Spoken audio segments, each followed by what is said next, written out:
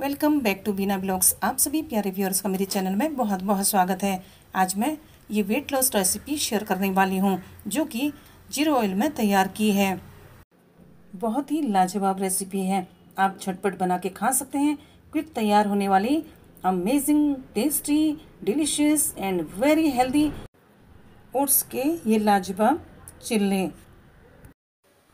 अगर आपको morning breakfast में फैटलेस हेल्दी और टेस्टी खाना अगर खाना है तो आप ओट्स के चिल्ले बना के खाइए।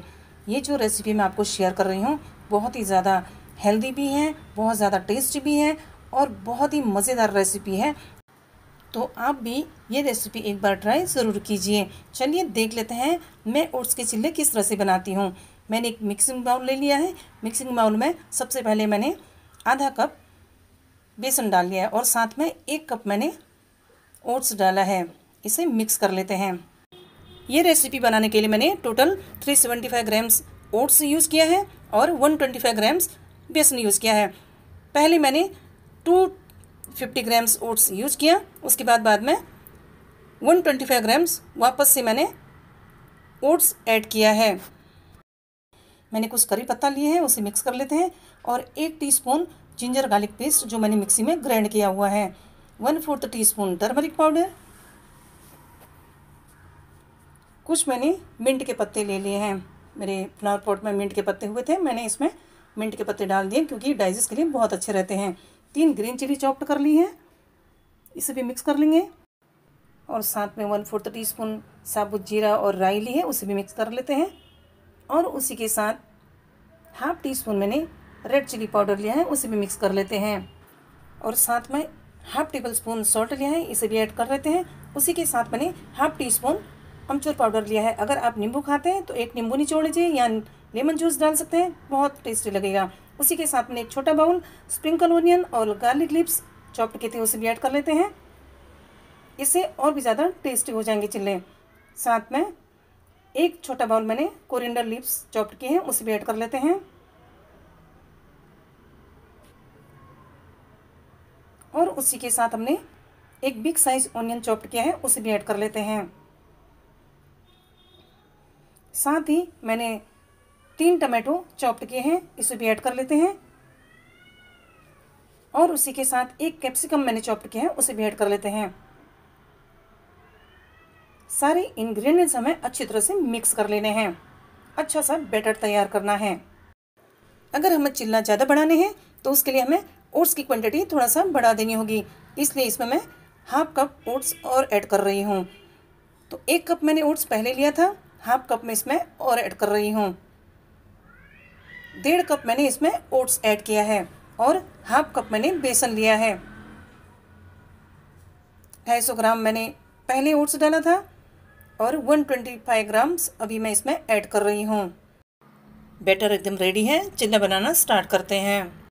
चिल्ला बनाने के लिए एक पैन गरम कर लेंगे। पैन गरम कर लिए, हल्का सा इसमें ऑयल टच करना है। बहुत ज़्यादा ऑयल लगाना नहीं है।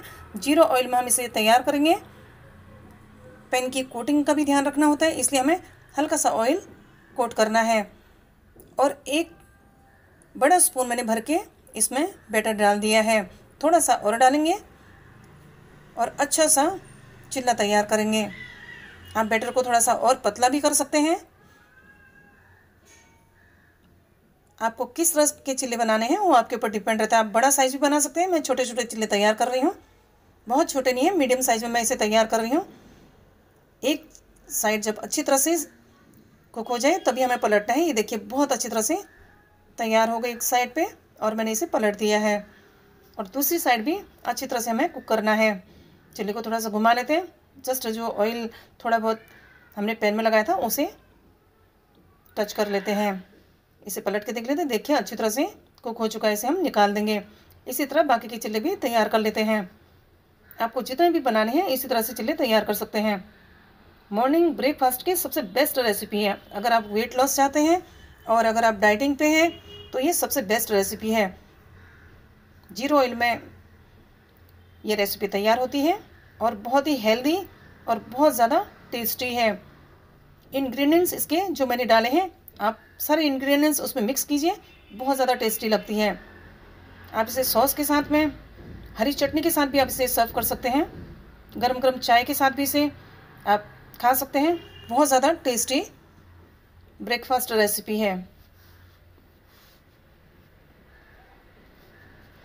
इसी तरह सारे चिल्ले तैयार कर लीजिए जितने भी आपको बनाने हैं। ये देखिए चिल्ले एकदम रेडी है। मैंने प्लेट लगा दी है सर्व कर दी है। आप इसे गर्मा गर्म खा सकते हैं। बहुत ही अच्छे और बहुत ही मज़ेदार चिल्ले तैयार हुए हैं। आई होप कि आप लोगों को मेरी रेसिपी अच्छी लगे। रेसिपी कैसी बनी है, अपना फीडबैक है कमेंट के ज़रिए मुझे ज़रूर दीजिए। मेरी पूरी वीडियोस करने के लिए। आप सभी प्यारे व्यूअर्स का तहे दिल से बहुत बहुत शुक्रिया। बहुत बहुत धन्यवाद। मैं तोड़ के दिखा देती हूँ आपको। ये देखिए, कितनी अच्छी तरह से कुक हुए हैं। चिल्ला बनाते टाइम हमें ध्यान रखना है कि हमें इसे अच्छी तरह से स्टीम करना है। कच्चा नहीं रहना चाहिए, उसका ध्यान रखना है। ये देखिए, बहुत ही अच्छी तरह से पक गए हैं। इसे आप गरम गरम सॉस के साथ में या चटनी के साथ या गरम गरम चाय के साथ में सर्व कर सकते हैं। आप चिली सॉस ले सकते हैं, टमाटो सॉस ले सकते हैं या फिर सेजवान सॉस आपको जो भी अच्छा लगता है, वो सॉस आप इसमें सर्व कर सकते हैं या फिर गर्म गर्म चाय के साथ भी इसे खा सकते हैं। आई होप कि आप लोगों को मेरी रेसिपी अच्छी लगी। चलिए, मिलते हैं फिर एक नई एयरपोर्ट के साथ में। तब तक के लिए आप लोग अपना बहुत ख्याल रखिए।